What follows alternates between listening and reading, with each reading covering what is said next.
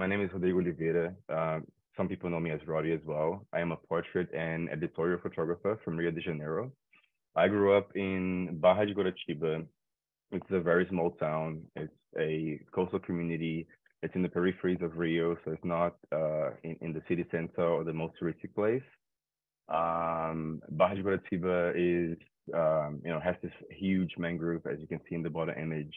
Um, and growing up here, I'm like geographically isolated from everything. And in, you know, and and for that reason, I feel like it's also a place that has been sheltered from violence, from uh, you know all the the bad things you can get from living in a big city. And Rio is amazing, but it's also very chaotic. But Barra de Guaratiba has been an awesome place to just uh, make me feel safe and make everyone, you know, have like a, a slower uh, life pace, which is really good for my creative workflow. Um, I was raised by my grandmother and my great grandmother, and my family has been really important to me. Um, they are Catholic, and although you know it's my grandmother doesn't really understand, um, you know, um, some of the things that that make who I am. Um, but um, my whole family has just shown me like unconditional love and being like really nice to me and and, and just like showing me that regardless of the decisions that I make and if they do or do not understand me, um, they do love me and and I think that this is also like gave me a lot of like a sense of respect for everyone that I work with. Um, so like I live isolated from everything and um, everyone else. Like I live up in the woods. Uh, so my house is pretty much like the, the last one where I live. Um, and I felt like I felt comfort in in solitude and just being uh, like by myself and being sheltered about like of everything.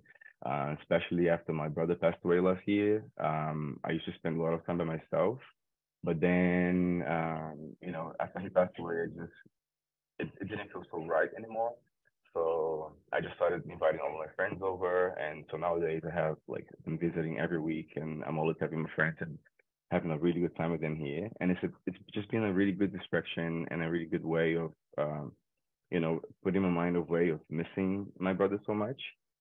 Um, and in where I am now, so my my house has become like a um like it's like a, a shooting scenario for like everything that I've been working on so far. And I created a safe space for everyone in the community to come create and have open dialogues and be comfortable with themselves. And I just it just makes me really happy to, you know, be able to see um everybody coming together, creating and, you know, feeling like this in here, at least we can uh, be away from uh, all the prejudice that we faced and um, um, everything that has been, you know, thrown back at us that is not really positive. For today, I prepared some never seen before images um, of how my friends and I celebrate queer joy. Um, we uh, we all met here, so like all these friends you see in the pictures, in my place to just have a nice chill day and I wanted to try this new camera, which is a large format Mamiya. And um, so this is like the the resulting images of everything that I've been, you know, creating with my friends so far. And for me, like celebrating queer joy is exactly uh, what I have been able to create here in my place. Being able to be um, just comfortable with my friends. Uh, you know, I see. Uh, I don't know about you, but when I go out with my friends and you know we're loud and we're happy and um, expressing our joy all the time. And I feel like sometimes you do you do see people who do not identify with us feeling bothered about you know how loud and how proud we are and um, how happy we are and how we enjoy ourselves and even the dialogues that we have with each other. Um, and I feel like that you know being in my place, uh, being here, it's been somehow you know a way of like uh, fostering everyone and just like actually being able to talk about everything and uh, without being judged and um, create all of that. And and it's just like it's been a really good payback for me to actually hear my friends saying that whenever they hear whenever they're creating, whenever we are together, and whenever they are in my house, they just feel this great joy and this uh, safety. And and I think that for the queer community, it's really important to feel safe at times. Uh, you know, uh, Brazil is the is the country that kills the most uh, because of like uh, transphobia crimes. So uh, you know, having a safe space, having a place that we can all be happy and be ourselves is really important to us. Um, let me move forward. So this is all the images that I've been um, shooting with the Mamiya, which is my new camera, and has been really fun trying it out. So for these images, I'm going to show you a little bit of like about shooting film and how like what kind of images and, and cameras that I've used for uh, for the photography. So the Mamiya 645 1000S is a very old camera and it's used for slow photography. So slow photography is what we consider when you actually have to pause, set up everything, and actually have the time to put all your image together. Um, and it has like a really a beautiful quality. The the negatives are just so big, so the quality of the scans and the prints are just beautiful. Um, it does require you to actually, you know, put it up in a tripod um, and setting up everything and waiting for the perfect time for for you to photograph. But the results are just incredible. For these images, I used the uh, Ektar 100. So the Ektar 100 is being shown here in these first images. Um, so the 100 is the ISO. So it's more for like daylight and brighter, um, brighter days. When I was shooting this film, I was actually shooting in like an overcast day, but I think it just works really nicely. It gives these like blue tones and hues to the shadows, which are quite, uh, I find quite nice. Um, I am having an issue with the focusing screen for, for this camera, but I actually think that it works really nicely for you know this beautiful ethereal kind of look into the images um, and especially for portraiture. Um, it just makes everything feels like a dream and honestly that's how i feel like about my life as well like everything that i've been living it's it's been a, a big dream. For the Kodak Portra 400 it's warmer tones as you can see in these uh, in these images here um, it's more like uh, neutral doesn't have like a, a, huge contrast which I find quite nicely to uh, photograph black skin. Whenever I'm photographing um, like my, my Peter Black folks, um, I find it really important to try and capture the, as much information as I can in skin texture and skin tones, which I find that sometimes other photographers, they uh, over exaggerate in uh, photographing and making like dark skin like really, really dark to the point where you miss uh, the pixels, miss uh, information on hair texture, and I find it very important for us to, you know, um, to actually feel like our hair, hair texture is a reason why we should be proud. Um, and uh, it is beautiful, like every other kind of hair. Um, when photographing black people as well, I always I'm always concerned about taking them to just to like um, have like a nice even light because sometimes we can get um, like various skin tones in one skin type, like just in your face, and have different uh, areas where um, it's more like sunburn and the other is not. And like for you, like um, we also have um, sometimes issues when shaving with like our hair follicles. It's a condition that you know the darker your skin is, the more uh, uh, susceptible to actually uh, get your pores to get um, infected.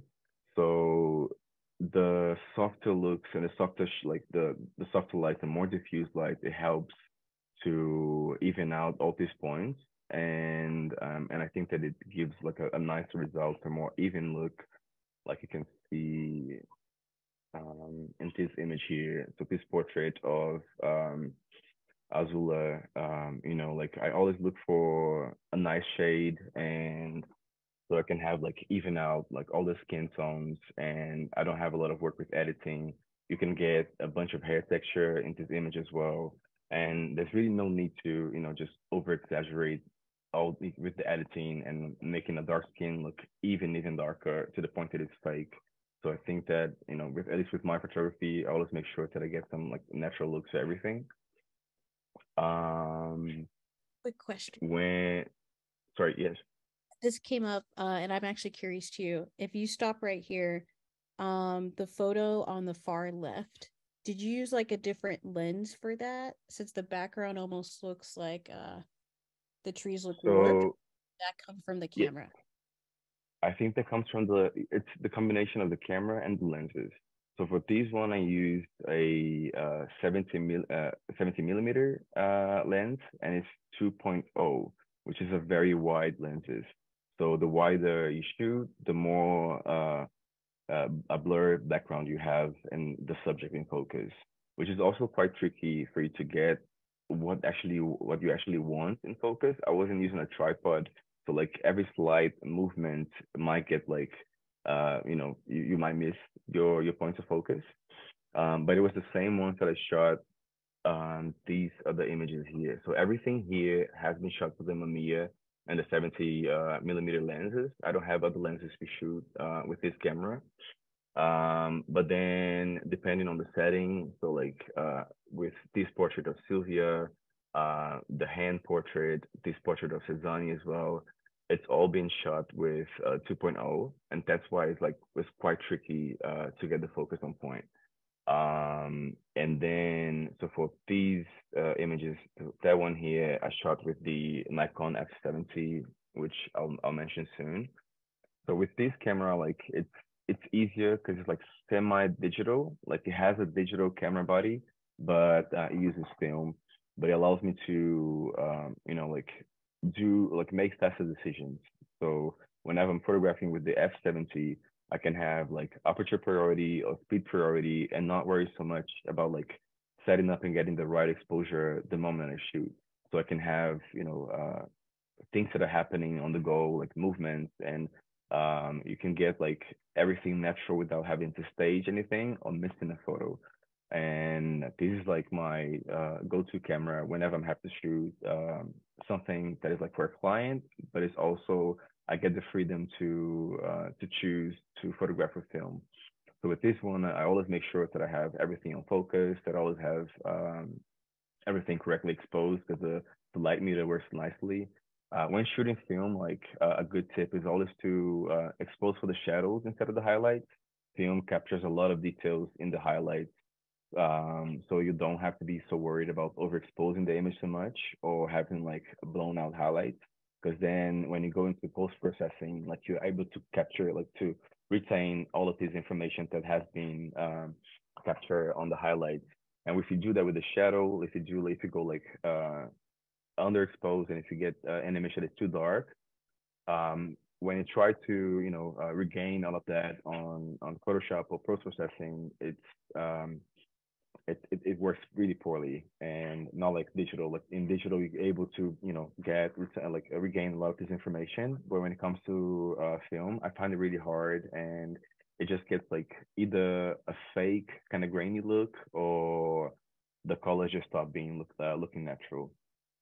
Um, so for these uh, shot here for example of eduardo Nicaro, um, so instead of like exposing for the for the highlights and the background exposed for his skin and went two stops up to so ex- overexposing for uh, two stops. And um, i don't think i've edited anything at all in this picture. And the good thing about photographing film is that you already have like all the colors delivered to you you know and that's i think the magic of photographing film. Um, you know um, it's just everything is just so magical. And uh, with each film you have different looks and different different colors. With these uh, the one that i photographed this image the kodak vision 3 is a rewinded uh, cinema film. So it's taken out of these uh, film cartridges and put into 35 millimeter uh, cartridges. So but with that i actually never know what the results would be. Like i've, I've gotten like uh, um, images that was just completely different and had like a, a bunch of like um, grain and dust in it, which artistically was quite beautiful, and the filming markings in all of it as well. This one is a really clean shot. Uh, I do have a lot of grains and everything, but I was actually quite surprised that this is how I got the picture because um, I was expecting like a, a, totally different look, but when it came out, I was like I was, I was just in love with it because I, I this is like one of my favorite shots from um, days later we spent together shooting with the uh, Mamiya, shooting with the Nikon F70, and the the four different kind of films that I used. Uh, so on the left, this image of Ikaru. Um, so you, you see Ikaru a lot in my pictures. Um, this black and white film just it was my first time using it and I, am addicted to grain and this is just super super grainy. It's actually like uh, made to for you to shoot at night. It's much better because of the the high iso but i made a decision of photographing during the day and i don't know this just looks like just came out of a magazine and um, there's just like no editing at all. It's just a picture how it came out. Um, and I, you know, I I really like this, like how this film worked for like black uh, dark skin tones. It's just so beautiful. Um, and yeah, let me sure. I think I covered everything when it comes to shooting film.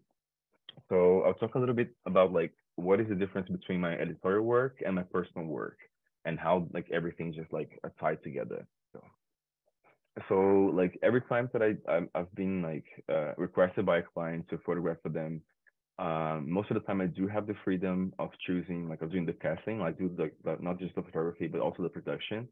So um, whenever it's up to me to do the casting and hire the whole crew for for all the photos, I make sure that I always including my community into it. So um, whenever I'm working, I'm working with people that come from peripheries like me, that come from like less privileged areas, and um, um, I usually have more tendency to you know go through like struggle struggle financially. Um, the you know the the peripheries is not really being like well looked after by the government as the south side and the like the Porsche areas and the more touristic areas of Rio. So uh, we have, you know, it's difficult for us to just move around to get to the city uh, to get to other places and uh, you know just work in general.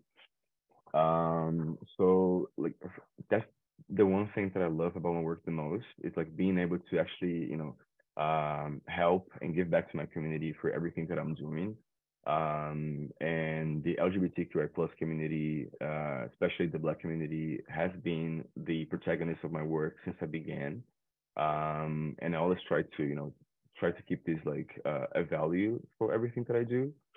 Um, so when I think that that's how it, it, links between my personal and my editorial work because you see these familiar faces, um, you know, like repeating themselves in what I do for um, just for fun or just for my own portfolio and what I do uh, for other clients with uh, paid opportunities and paid jobs. Um, so I always try to, you know, create something that is diverse, that really represents um, everything that Brazil and Rio has to offer. Um, and um, it's just it just makes me really happy, and you know, like, and I see how how much that uh, adds value to other professionals as well to see that the work is, uh, you know, um, it's being represented and it's being valued, and that there's like a payment and retribution for like everything they've been doing because it's a lot of hard work to put you know um, creating creating your own portfolio and putting all of that together as soon as like I started for real with photography and um, he was like kicking out uh, his uh, career model, we both needed to create our portfolio and uh, Ikaru and I just started this like wonderful friendship and uh, like a collaboration and like all the time we're just like shooting together and either to like uh, even when he's just visiting me and we've just got nothing to do we're just gonna shoot something. And um, I see how much that has affected uh, his his modeling career and also my portraiture as well um, and uh, you know here you see this uh, which is uh, that's her she's like a, a very talented uh, braid artist. You, you can see the arrow, right? When I when I use it. Okay, cool. Uh, so this is a wonderful braid, like braider, hair braider. so she, we did together these. Um, sorry, my slides are a little bit slow. We did together these two photographs here. So she did the hair, and she invited me to do the the photography. And and this is something that I do a lot whenever I have time with with my friends, like I I don't charge anything. Like if I have the time and I can do something for you, um, I'm gonna photograph for uh, photograph for free because it's a good thing for me to have images from my portfolio as well. And I know that uh, it is important for them to be to be able to have images that really um, I don't know like um, makes the work um, just stand out and like you know look even better. Um, so you know with the editorial, whenever I had the chance, like uh, to hire someone, I've hired her. She was a model uh, for this campaign, and a lot of the times I don't use professional models. I just use my my actual friends, and um, this is just wonderful to give them opportunities to you know um, be represented, to feel good about themselves. Like um, I think that very often campaign has left uh, left out um, you know uh, black LGBT uh, LGBTQI plus uh, members just left out in general. And and with this we just feel like are we not worth it? Are we not pretty enough? Like what is wrong with us? And when in fact there's nothing wrong with us at all you know? Um and i just like i really feel like you know with everyone that i've photographed and uh, all the feedback that uh, the models the my subjects has been given to me has been so positive. In um, you know, how they see themselves from my pictures, how uh, pretty they feel from my images, um, having their, um, you know, their image uh, dignified. Um, and this, you know, it's truly um, rewarding for me as a photographer. I love his image. I do too. It's it's like the end of a shooting. So this this is a photograph for Canva, and um, at the end of the of the of the campaign, we just decided to shoot, um, you know, a picture of everything. So here we have uh, the makeup artist, the models, my assistant, and as you can see, like I, you know, I'm always working with these like beautiful, um, wide range of people. Uh, you know, skin tones that vary from you know beige to really dark black, and um, and this is like, you know, see how happy they are in this image, and also working with them makes me really just extremely proud of everything that I've been doing. Um, I come from a very poor family, so it's like um, have having achieved what I've achieved so far and everything that I've done with my work. Um, it's really incredible, and it's like these are things that I've never imagined that was going to be possible, like at all, at all. And um, Sorry. No, you're fine. I was actually going to ask you, like, how far do you think we've come? I know we, of course, still have so much more to achieve as far as representation with different communities and uh, within like the editorial world. But do you feel that we're at a good place? Do you feel that we're moving in the right direction or do you feel like there's still a lot of work to be done? And especially from your perspective and you're also bringing a lot of your culture and family and friends through it like where do you feel like we're at today in 2023 yeah i feel like there's still a lot of work to be done but um we we have come a long way and to the point that we no longer need to um, feel like we have to occupy spaces that were neglected to us for, for a long time. We are able to create our own spaces to, um, you know, like uh, not depend on, um, you know, like uh, like uh, whitewashed places or spaces that were, you know, uh, not really designed for us or just used as, you know, just used as for their own benefits for marketing reasons and so on uh, we are able to like finally tell our own narratives and create something that is from us to us. And um and i think that this is like uh, you know seeing you know um black people realize that it's it's just beautiful you know? Um and um that's the thing that i'm just like the proud of the most of like seeing other creatives like you know using the culture being proud of the culture putting all of these together um you know, uh, it shows, it gives us hope that, uh, you know, we don't need anybody else. We can, we can do this on our own. I think what we all appreciate about your work is that you're showing the joy and the black joy and you know like that's something that i feel like actually is still has a much longer way to go i feel like images um of people in our community that are happy are unfortunately pretty hard to come by. And I think Yes. that's something, yeah. And if you agree, please let me know. I I think that it's really this is something different too about your work that um happens every day that doesn't get shown a lot. And I really appreciate that. And we all feel that we all respond that way to your work. Um, I didn't really, like I told you, I didn't really notice that it was that deep until I dove into your work and I was like, wow, I'm actually not used to seeing us smile as much as we do. We smile every day. We have a lot to Yes. be smiling about and proud about. Actually, like one of the reasons why um, I decided, because when I when I decided when I started photography, um, it was always like important for me to have a purpose. You know, like when when I was photographing for the first time, I was photographing because I was doing biology, so it was all related to the wildlife. And as soon as I started to uh, do portraits, I fell in love with people and culture, anthropology, and everything. Like everything human interests uh, interests me. Um, and then, um, you know, after living overseas for a while, I moved back to Brazil and I was like, okay, so I want, I actually want to be a photographer. I want to make a living out of this. Um, but you know, what do I do? Like, I want to do like a, a documentary, something that is personal and is meaningful as well. Um, and I was like, well, my own community needs attention. My own community needs representation. So why not start from there? And instead of allowing others to, you know, exploit and, uh, you know, um, document through their eyes uh, are like what we go through, uh, why not do that myself, you know? Um, and that's when I started photographing the uh, the Black queer community from favelas, peripheries of Rio, um, and that was like a result that was like immediately uh, like gratifying like just as soon as i started and seeing how um, they reacted to their own images like oh is this me? Like is this how you see me? And i'm like yeah that's actually like that's who you are.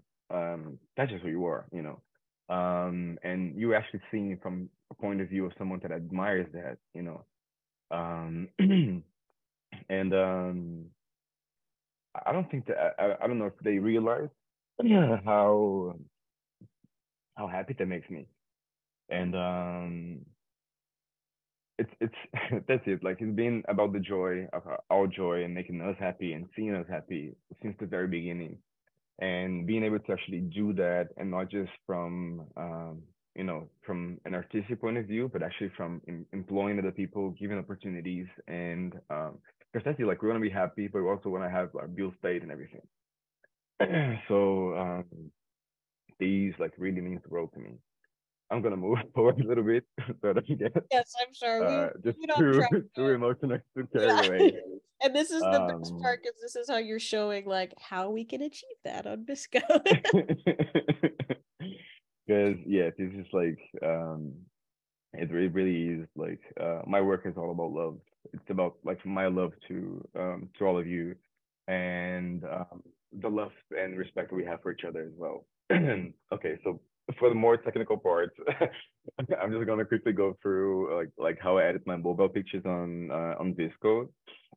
So I like VSCO. I've been using VSCO since 2014. It's like the very beginning of my photography, and uh, when I started traveling and everything. So I had VSCO even before I had Instagram. Um, so um, it's like it's it's been so nice to actually be like you know um realize that I've come to the point that now you know I'm I'm presenting you know to like all of my audience on VSCO. That has been so great to me so far um, and I'm really happy that I'm able to share some tips and um, give you some advice on how to achieve, you know, um, this beautiful film look even through your mobile photography. Um, anyways, so this is an image I took at the beach with my friends, uh, with Sergio and Joyce. Um, this is a mobile picture I took with my iPhone.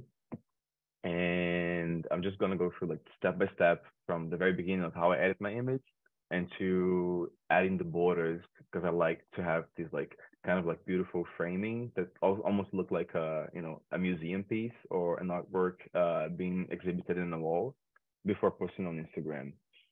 So for this image in particular, um, I use the Fuji Pro 160s. Um, I just love I love how it makes the colors pop, but it's not exaggeratedly like uh, it's not exaggerated like overly saturated Uh, the colors are popping. I have like a nice contrast to uh, the background and the subject. Um, so with the Fuji Pro 160S, you do have the option of adjusting strength, corrector, and the warmth. So I first go on to character uh, just to make sure, because like, if you go up a little bit with this film, you will get like a more contrasty look. And if you go uh, down a little bit, then you have a more of a like faded shadow, like uh, washed off uh, kind of look. Um, so I go, I went up a little bit with the character so I can have um, a little bit more contrast. The strength is up to 12 because I really like how the, the film works. If you go down a little bit, you have, you know, like it goes back to more of the natural and the original look. Um, and I just added like a little bit of warmth because this image was shot on uh, on a very overcast day, and that gives like uh, cooler um, looks to the images. Um, then I go on into adjusting the sharpness. Um, I do like my images to be quite sharp. Uh, 2.0 just works perfectly. It's not too much, and I think it's just the right point. Um, here you can see how I like to use my uh, grain. Like, like I said before, like I'm I'm addicted to grain. I love grain in my pictures, um, but I like fine grain. So I use like, I go down with the size a little bit, like uh, mine is 1.9. So the grain is not too large. Um, and then I go up on the strength. So I have, you know, the grain uh, all over it. Um, so like usually when you zoom in, you're able to see better the grain as uh, in comparison to like a zoom out picture. So whenever you're adding zoom uh, grain into your physical images, zoom in a little bit so you know exactly the, the right amount of grain you add into the image. Um, so next one um, I'll go up with the shadows a little bit, just recover some information on the on the shadow parts. Um, if you go up with the highlights, you actually like turn the highlights a little bit down, um, and there was like a lot of light coming in, and I just wanted to like adjust the brightness a little bit. Um, sorry, I'm trying to move forward, but it's stuck again. No worries. um, yes. So wait. Okay, so since I went up with the with the shadows, like I'm compensating a little bit with the contrast because uh, when I move uh, up the the shadows slide, I do you know lose contrast in the shadow. Um, so I recovered information by going up in the shadow slide, but then added back uh, some contrast uh, later. Um, after that, so here's a before and after. So I'm done with my image. Uh, and what I always do, I crop the image to Instagram size. I add the border up to 2.0 because uh, later when you see uh, when I go cropping again back into the into the uh, Instagram format, it gives like the just just a perfect even amount of borders, so it like it just fits perfectly uh, to the image. So you save it to camera roll, uh, then you cannot just crop the image right here because otherwise uh, it'll give you the the full picture again. So you have to save it to your gallery, uh, re-upload it, and then crop it again with the uh, four by five ratio of Instagram. And then finally you you save it again, and then you have your final image with the little uh, borders around it. Um, and that's how I do like all of my uh, social media postings on Instagram. Um, here I'm sharing a couple of recipes. Uh, like Maya said, uh, these will be handed to you. Like you can also like just get in contact with me via either the DM on VSCO on Instagram as well. And um, I can share like all my VSCO tips on recipes and how I edit the photo. For this image, this is like my recipe for a backlit image and give like this very nostalgic feeling and a more of a grainy uh, of a film look. So I'm adding like effects. The VSCO app also gives you effects of like light leaks, uh, grain, dust to really get the, the film simulation.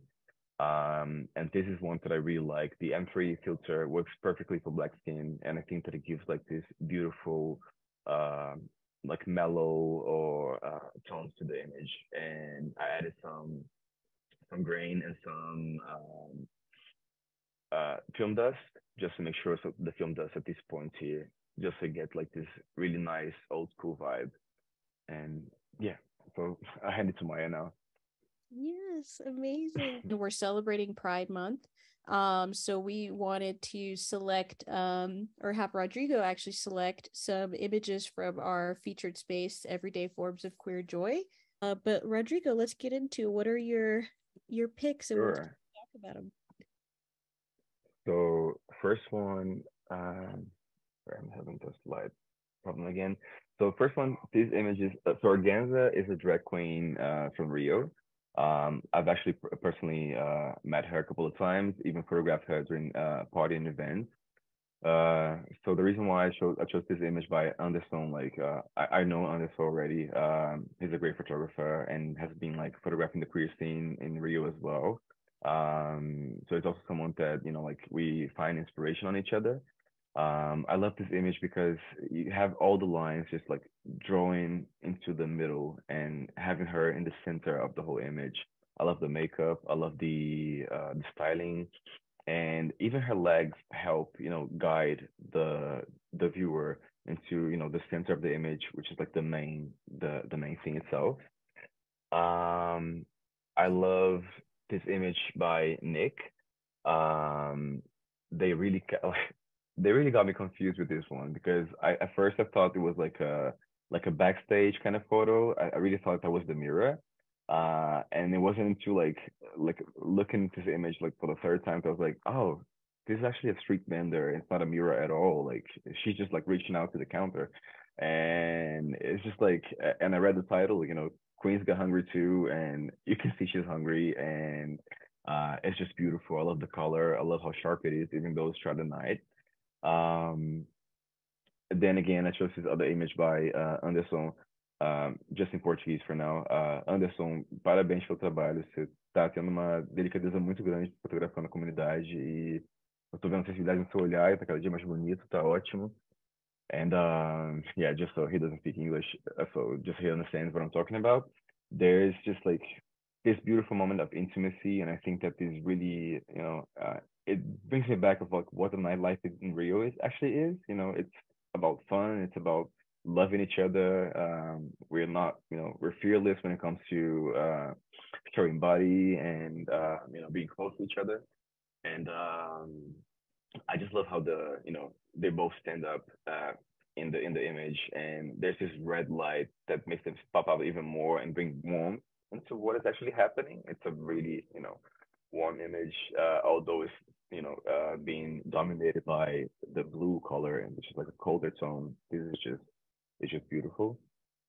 This image by Coquette, it's gorgeous as well. It's a self-portrait, and you know, as a photographer, you know how hard it is to get uh, you know your self-portrait right. Sometimes uh, it's quite challenging, and I think that she did it right nicely. Like uh, the expression in her eyes. Uh, there's some cultural elements to what she's holding to as well. The hairstyling. Um, I love monochromatic monochromatic images. So the the dominance of blue, uh, it's beautiful as well. And I think that everything just works. So um, that's why I love this image.